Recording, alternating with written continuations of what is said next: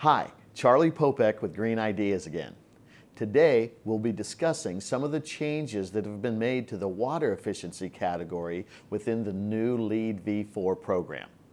As you know, LEED V4 will be introduced at Greenbuild in Philadelphia this year, and it promises to make a substantial impact on our industry.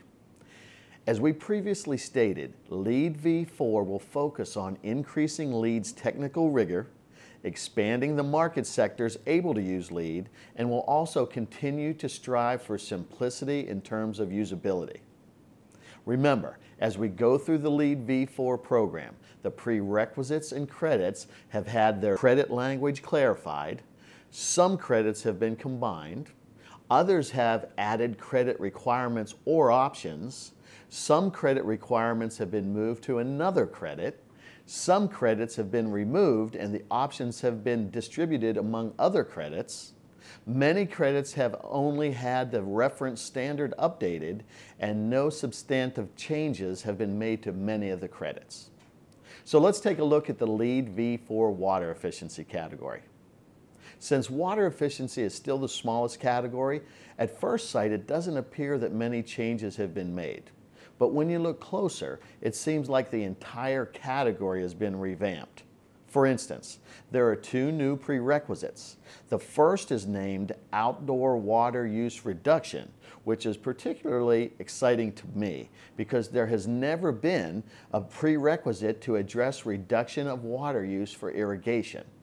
This prerequisite requires a reduction in landscape water use by 30% using EPA's WaterSense water budget tool or by using no irrigation whatsoever.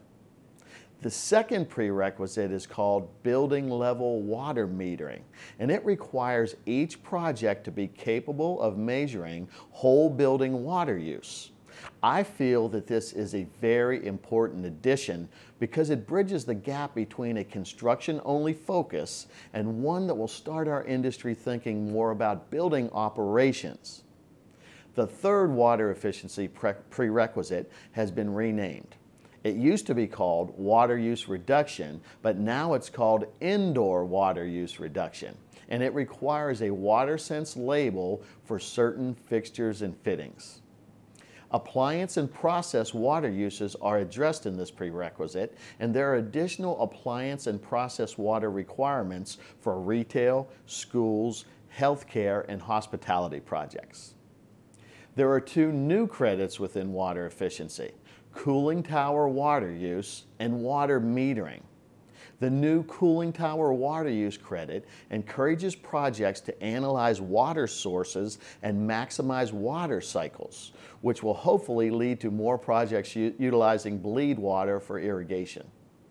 The water metering credit is a tie-in to the new building level water metering prerequisite and rewards projects for sub-metering at least two water end uses. Once again, I feel this is a key to improving post-construction operations of buildings. And that's what's new with the water efficiency category for LEED V4. Details about these changes can be found on the USGBC website. Please contact me at charlie at egreenideas.com if you'd like to discuss LEED V4 further or if we can help you with your project. And once again, remember that each time a new LEED version has been introduced in the past, the requirements for earning and maintaining LEED accredited professional status changes. So if your goal is to become a LEED Green Associate or LEED AP, take the exam now rather than waiting because it will get more difficult. We can help you with our best-in-class online LEED exam preparation bundles. Please visit our website at greenideaseducation.com for more information. So we'll see you again next week when we'll be looking at the energy and atmosphere category.